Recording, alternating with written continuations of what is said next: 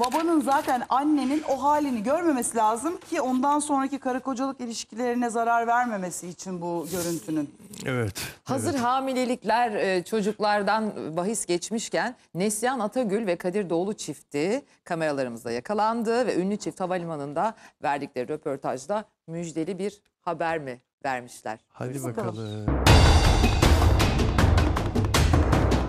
Haklarında durmadan boşanma iddiaları çıkan Neslihan ve Kadir'den olay açıklamalar. Latin Amerika'dan dönen Kadir Neslihan çifti ne açıkladı?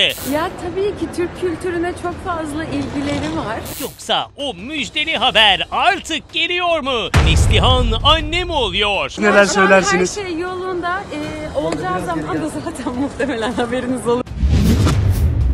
Onlar öyle bir çift ki aşkları, düğünleri, dansları hep çok konuşuldu. Aşkları 2012 yılında yayınlanan Fatih Harbiye setinde başladı ve evlilikle sonuçlandı. Haklarında birçok iddia ortaya atıldı. Derviş Kadir müşkülü olanları dinledi. Neslihansa sadece Kadir'i dinledi. Haklarında çıkan onca iddia varken onlar aşklarına ve evliliklerine sahip çıktılar. Ayrıldılar haberlerine kulak asmadılar ve hep el ele verdiler. Üstüne üstlük yine aynı dizide bile oynadılar. Hayranları ise müjdeli bir bebek haberi bekliyor onlardan. Bakalım bu evlilik bir bebek haberiyle taşlanacak mı? Diyorduk ki ünlü çifti havalimanında yakaladık. Amerika'da katıldıkları bir galadan dönen iki oyuncu muhabirlerin sorularını cevapsız bırakmadı. Vallahi çok güzel geçti. Biz orada çok Kadir Bey sizi de alalım lütfen. Hadi devam et. Evet. Vallahi çok güzel geçti. Sahneye çıktığınızda İspanyolca konuştunuz. Herkesi şaşırttınız. İspanyolca biliyor muydunuz? Yoktu ama e, yeni yeni İspanyolca öğrenmeye başladım. E, madem böyle bir yere davet edildim, e, o zaman biraz hem de bir pratik yapayım istedim açıkçası. Kadir Bey ile danslarınız da çok konuşuldu. Ya tabii ki Türk kültürüne çok fazla ilgileri var Ee, ve böyle olunca da e, şunu soruyorlar bize. Hani Türkiye'ye geldiğimizde folklorik yani sizlerin geleneksel e, dansı ne oluyor yani diye. Ondan sonra bize bunu gösterir misin falan diye öyle eğlenceli anlar oluyor. Peki siz Türk dizilerinin başarısı hakkında ne düşünüyorsunuz? Ee, çok çok iyi işler çıkarabiliyoruz ve hissettiğimiz duygu hem doğuya hem de batıya hitap edebiliyor. Kadir Bey siz neden gelmiyorsunuz? Siz de böyle alsaydık. Kadir Bey sizi böyle alalım lütfen. Orada oynadınız. Burada da çifte telli oynayacak mısınız? Burada da çifte telli oynayacak mısınız? Çifte tel erik, erik dalı.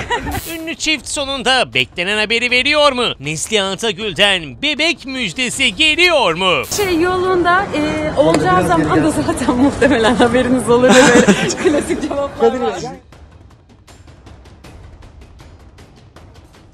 Bir müjde gelir mi? Yani Demiş haberi. Yani şimdi bu röportajda soruyorlar zaten e, çocuk düşünüyor musunuz diye. E, şeyle fanlar bunlar için e, bir fotoğraf e, şey yapmışlar, yaratmışlar ze- zeka ile, yapay zeka ile. Hamile olsa nasıl gözükecek? Hayır hayır, çocuk Doğursa katmışlar. Çocuk olacak Fotoğrafta diye. çocuk da var. Evet, çocuk da var. Üçlü bir fotoğraf ve diyor ki Kadir Doğulu yapmışlar işte diyor, doğurmuşlar işte diyor. Onu büyütsünler de diyor cevap olarak. Yani esprili bir yanıt e, evet, bence. evet. Madem bu kadar uğraşıyorlar hazır okula okula da göndersinler. Ve alt metinde diyor ki olsun. öyle bir niyetimiz yok bizim demeye getiriyor o zaman. Onlar yapmış büyütsün ne demek? Ama kaç sene oldu Siz yapın evlilik? diye soruyoruz yani, zaten. e, e, hayranların beklemesinin ötesinde anneler bekler, aileler bekler. Bir de kendilerinin e, daha da e, yuvalarını sağlamlaştırmış. O kadar çok söylenti oluyor ki ne onlarla kadar daha ilgili. sağlamlaştıracaklar abi? Kaç sene oldu Ama, evlilikleri? ama ne kadar çok konuşuluyor, ne kadar çok yaramazlık yapıyor Kadir Doğulu. Sağa gidiyor, geziyor, demek sola ki- gidiyor, seviyorum geziyor. Ya. Ben bu çifti seviyorum yani. Ben bu çifti bir de dışarıda da çok gördüm. O kadar güzel e, birbirleriyle e, bir enerji içerisinde paylaşımdalar ki. E, işte beraber yürüyüşlerdeler, kahvaltıda, e, kahvaltıda falan bıcır bıcır böyle sohbetteler falan. Hani böyle bazı çiftleri görürsünüz kamera karşısında bıcır Evet. bıcır. Sosyal ortamda görürsünüz birinin elinde telefon, biri birbiriyle konuşuyor. Birbirleriyle alakasız gibi ama onlar dışarıda da böyle çok bıcır bıcır, çok böyle paylaşım içindeler.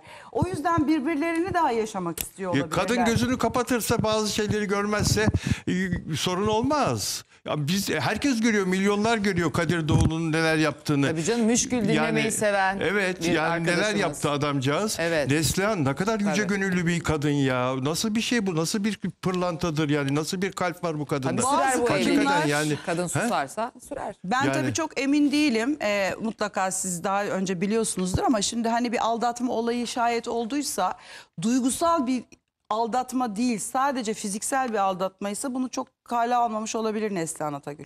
Çünkü aldatmak bence başkasına aşık olmak. Yani başkasını sevmek, başkasını e, arzulamak, hayal etmek, onunla beraber yemek yemek istemek, beraber sinemaya gitmek istemek, onunla bir şeyler paylaşmak istemek. Ama sadece bedenen aldatmayı çok kale almamış olabilir. Aldatmanın yeni tarifini yapıyor Selen Görgüzel. Nereden nereye kadar aldatma, nereden nereye kadar e, aldatma değil. Olur mu Yani öyle bir şey ya? evlilik, Ne ama bir Allah yuva, aşkına ya. Ee, ne bileyim kabul ben- etmem mümkün değil ya. Yok yok kabul edebilirsin. Vallahi kabul edemem. Ya bir- bence bir Tensel erkeğin birliktelik yani normal mi? Başkasıyla bir sefer Çok uzun bir süreli- kerelik de olsa olabilir. Yani sineye mi çekmek gerekiyor bu Çok durumda? uzun süreli ilişkilerde arkadaşlar e, bu tarz şeyler eğer duygusal bir bağ kurmadan bir heyecan doğrultusunda o tatmin duygusunu karşı cinsle karşılıyorsa bir yuva dağıtmaya değmez bence. Yani ne var ya bir bir gece aldatmış bir daha kadını veya adamı görmeyecek. Niye dağıtsınlar yuvalarını? Yani bir daha hayatlarında görmeyecekleri bir insan için ama başka bir adama aşık olduysa, başka bir kadına aşık olduysa tabii ki o yuva yani zaten yoktur artık. Boşanılması gerekiyordur. E başka birini tercih edebiliyorsa, ona dokunabiliyorsa Evet, evet, evet. zaten bitirmiştir o kişi. Evet. Sen niye bitiremiyorsun ki? No, Evet. no, hayır öyle bir şey değil. Kaybetmeyi göze alan biri zaten bitirmiştir başka birini tercih edebiliyorsa. Tercih etmek değil o. Heves, Tatmin. heyecan için diyorsun. O bir Yapılabilir tatmin. mi? O tatmindir. Yani kabul edilmesi e, kolay bir şey değil.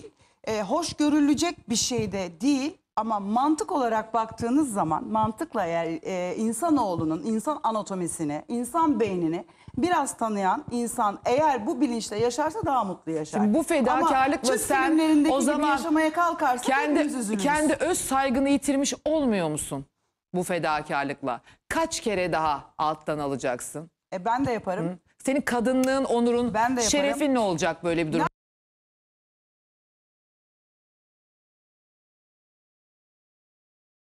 anlayalım. 21. yüzyılda 2024'e gi- çıkartalım artık. Şeref ve namus bence insanın burasında ve burasında olan bir şeydir.